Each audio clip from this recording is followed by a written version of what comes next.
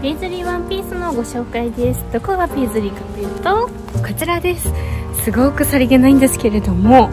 えー、ネイビーと黒ですね。こちらはちょっと同色っぽいイメージのあまり主張しすぎない柄のワンピースとなっております。シルエットはこんな感じです。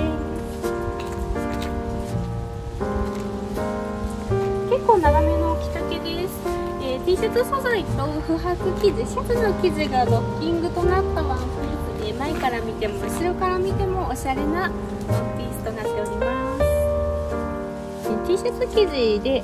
結構薄めの素材となっております。ただ肘がしっかり隠れる七分袖なので、ま、日差し強い日とか今日みたいな日差し強い日あまり肌を出したくない日にもいい長さとなっております。